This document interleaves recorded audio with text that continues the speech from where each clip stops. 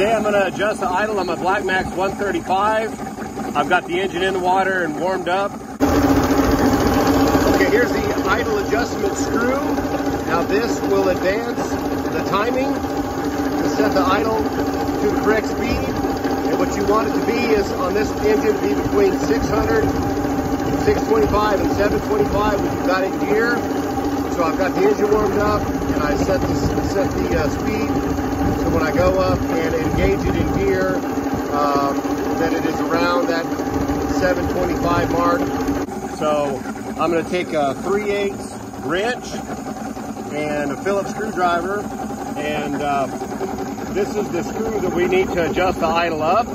So I'm going to move this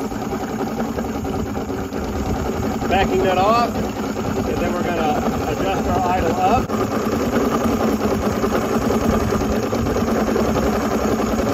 And what this actually does is increase the timing to increase the idle. So now, looks like I need to go maybe a little bit higher.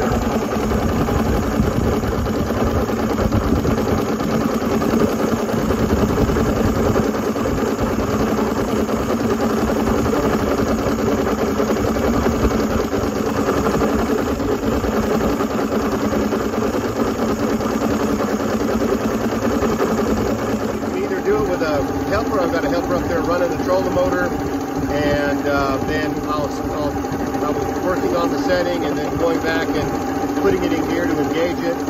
And uh, or you can have it on like your uh, your boat trailer at the boat dock. So being the summer, it's a little bit busy for that. So I'm doing it out here on the water, doing a little fishing. And uh, anyways, hope you like the video. Please like and subscribe.